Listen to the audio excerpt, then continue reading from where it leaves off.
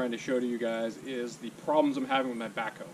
Uh, it's the main cylinder, not really pulling as hard as it should, not really pulling at all.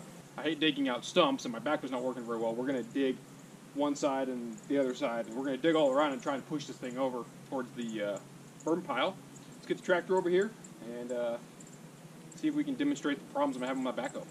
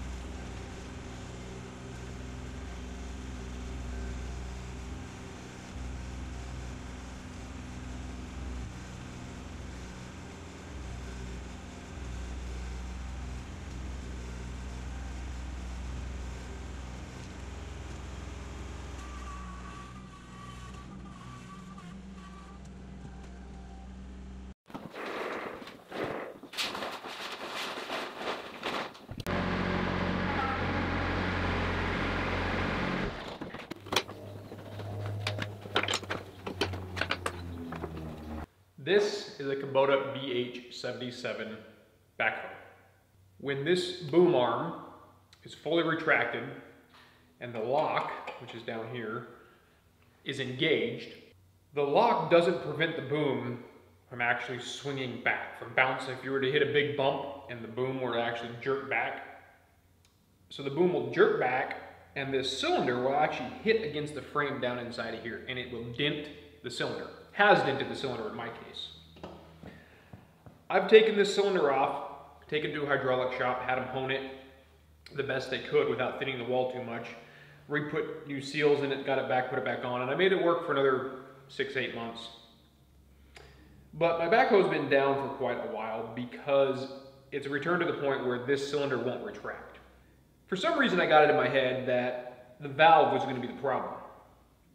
I thought the valve was contributing to the problem because of the symptoms of this cylinder. However, through a great deal of pain and a great deal of tearing apart that valve, which is down inside of here, so these control rods go through some linkages down, and there's a big, huge spool valve down there. It's a, what, a one, two, three, four, five, six, six spool valve. I basically ended up taking that valve out three times now, tearing it completely apart, replacing O-rings and seals and soft goods and other things inside of there. And I haven't made the problem any better. Not only have I not made the problem better, I've actually found a different problem, and I can't tell if it's related or unrelated. So the current problem is this upper cylinder that controls the dipper stick won't retract. This cylinder was working fine before I took the valve apart. So I assumed that me messing with the valve screwed up the cylinder. However, I've since taken the valve apart again which is an absolute nightmare to get out in and take it apart and rebuild. And then there's hydraulic fluid involved. Anybody of you guys that have worked with hydraulic fluid know how terrible that can be. But based on everything that I've shown you guys and a few other things that I've done, I believe the problem to be in the valve. Now, I'm going to splice some other valve footage in here because I, I went to go make a video about rebuilding that valve. And I decided not to because it wasn't going to be helpful. Or I didn't think it would be helpful because I was guessing. But this is more of a, hopefully you guys can leave some comments down below and give me some pointers on what you think I might try or what it might actually be. Uh, maybe, maybe one of you guys does this for a living, who knows. But I could definitely use some help uh, so that I quit wasting time and money trying to diagnose what the problem is. Uh, I assume it's in the valve. I leave it to be the valve that controls this cylinder at this point nothing else seems to be wrong with the hydraulic system. I do need to replace a bunch of bushings, which I'll get around to later. But I believe it to be the valve uh, that controls the cylinder. I don't particularly want to pull that valve apart again, pull it out of there and, and apart again just to not find anything wrong with it, which is what I'm going to find right now because there's nothing wrong with it as far as I can tell. Which basically means I think I'm going to have to wait for some of your guys' comments to come in hopefully get some good pointers. So if you know somebody that knows a lot about this, maybe show them the video, see what they think, or maybe you work at a hydraulic shop and give me a reference. I don't know, something. But as far as hydraulic circuits and systems go on this tractor, on this backhoe, I'm, I'm struggling with this and I could really use some pointers.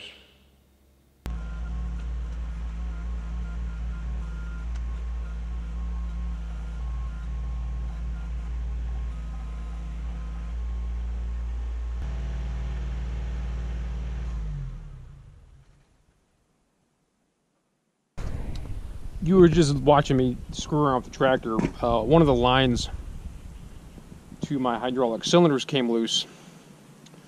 Um, it's never come loose in the past, but it's very loose now, and uh, I'm gushing hydraulic fluid everywhere. It's sort of a terrible design. I'm gonna get you guys down close so you can see.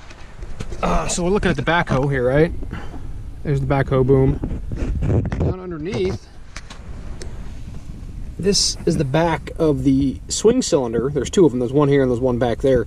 They're connected together via these connections back here. And the bottom one of these down below, you guys can see that.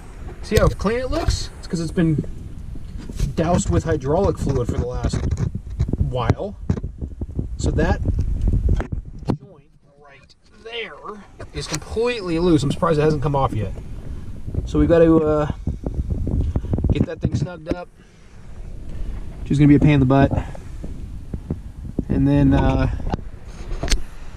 fortunately, I'm going to be done with the tractor for today because I don't have any more hydraulic fluid out here and I didn't catch it in time to uh, realize that I've actually drained the tank pretty well. So I'm going to uh, hopefully get it loaded back up on the trailer and get it out of here.